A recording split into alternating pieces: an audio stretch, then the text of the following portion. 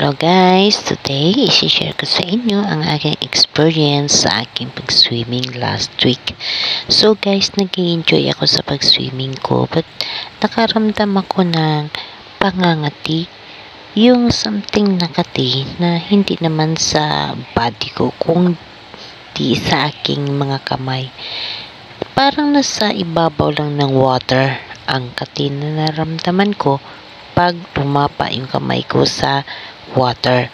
So, in that day, ako lang isa ang naliligo una. So, parang feeling ko, yung makati na nararamdaman ko, nasa ibabaw ng water. So, dali-dali akong humaon at uh, nat natatawa pa ako sa sinabi ng aking uh, camera girl, si Kitty. Sabi niya, maghubad daw ako. Eh, huhubad ka pa nun ang katikatina ng aking mga kamay. So, dali-dali akong humaon at naligo sa running water. So, ang tagal nakuha yung pangangati. Sabi nga ng mga bata, parang sa bula daw. Eh, hindi naman eh ang linis-linis ng tubig. So, sabi ko, ano kaya yun? Makati siya na parang something ibang-ibang kati nararamdaman ko sa kamay.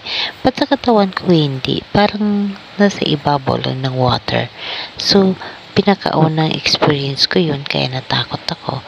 Ano kaya yun, di ba? Hindi ko alam kung ano yun.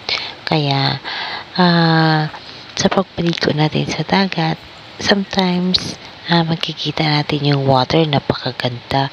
Pero may maramdaman ka rin pala na something ganun. Parang nangangati yung, uh, yung skin nasa taas. Ganyan. So, enjoy ako guys sa unang swimming ko. Ngunit sa papunta na ako sa pag-swimming sa malalim, nakaramdam na ako ng tinatawag na pangangati sa taas ng skin ko sa kamay. Wala naman sa mukha. Alin wala din sa katawan. Only sa kamay lang. Okay guys, again, thank you, thank you for watching. Salamat sa inyo lahat sa panonood ninyo at sa pag-support ninyo sa aking channel. Thank you, thank you so much and shout out kay Kitty. Si Kitty, ang batang kaibigan ko na vlogger. Nagpa-vlog siya, kaso lagi walang signal.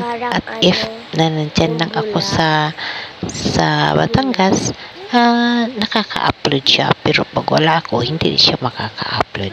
Again, again guys, thank you, thank you so much. I love you all people.